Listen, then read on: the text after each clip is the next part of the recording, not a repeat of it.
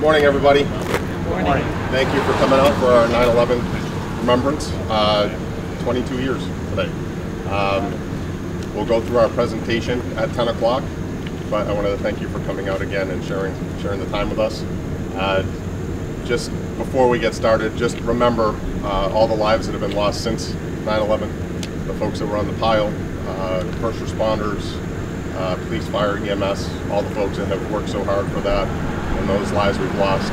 Also, I just ask you to remember all the folks that were impacted and, and killed on all those flights that occurred. So while we have a lot of 343 of our brothers and sisters and police officers, and just don't forget all the other ones that, that perished in that horrible day. And our department, we will never forget as long as I'm here, and I'm sure it'll be the same way after I leave. So thank you for coming, and we'll be starting in a minute.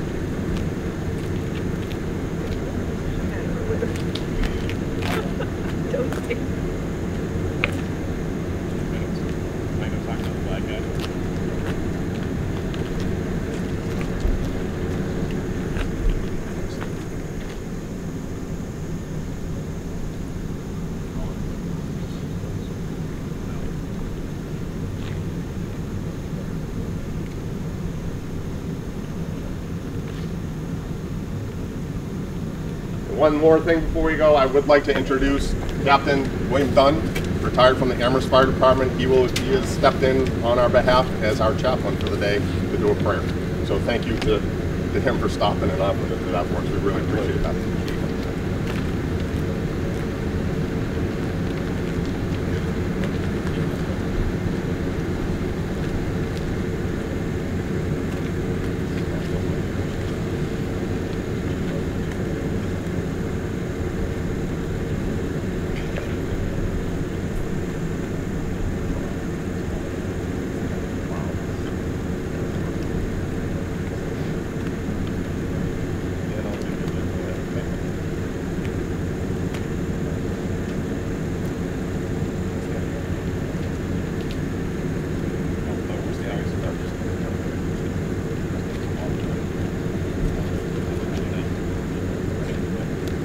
Heated.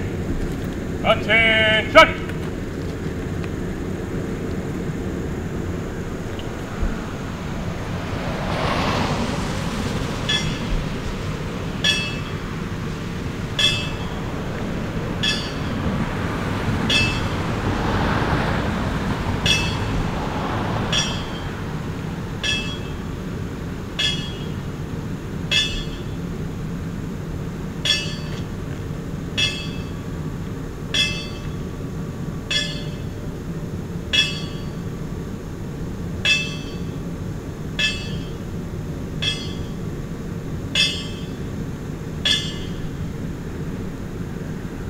Present. On! Oh.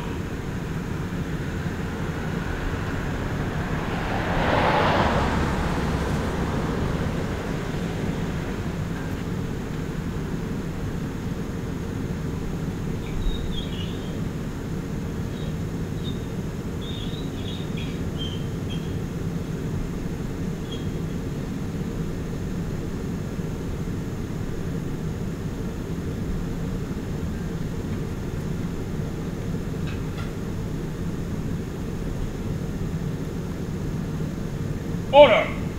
On!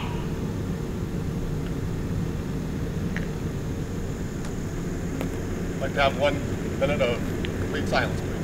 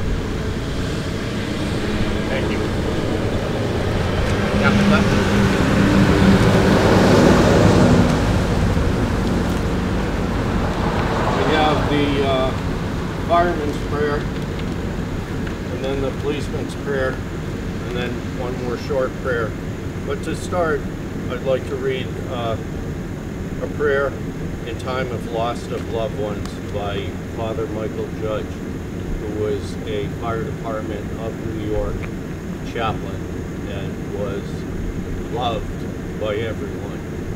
And that's a tough group to be loved by. Sadly, he was the first victim of 9-11 as he gave last rites to a firefighter. God is present, loving, smiling, having received our loved ones. They're in his presence, illumined by his smile and warmed by his love. His kingdom is enriched this day, so enriched by so many beautiful souls. Our world is empty without them. Our hearts are broken, our sadness immense, our tears so abundant. We need you, Lord. Please come and touch us. Fill us with courage. Calm our discomfort. Give us signs of your presence. We ask you, we beg you, come. Amen. The Firefighter's Prayer. When I'm called to duty, wherever flames may rage, give me the strength to save a life, whatever be its age.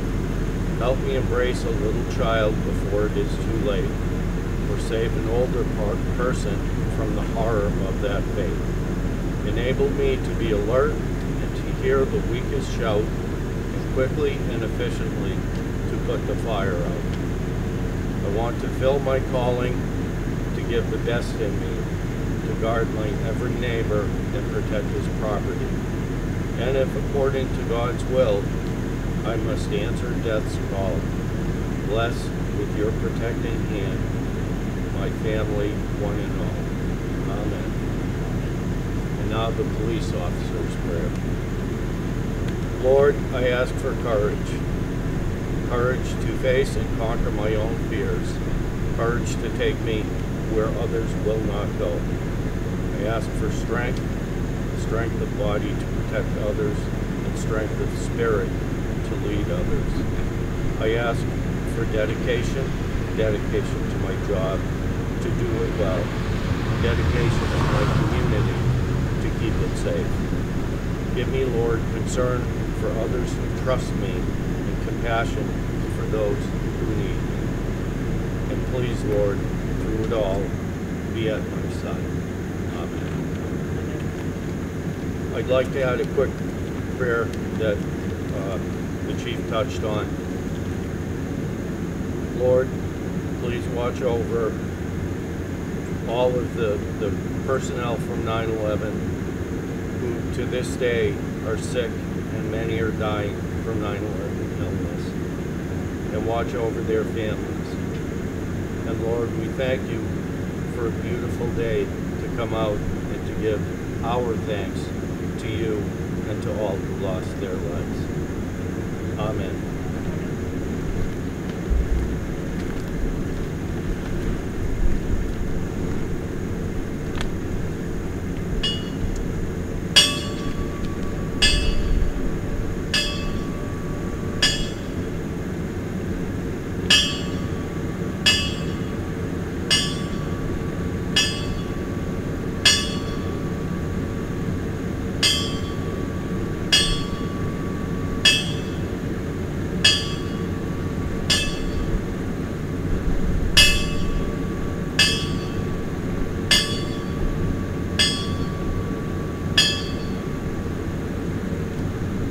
Present.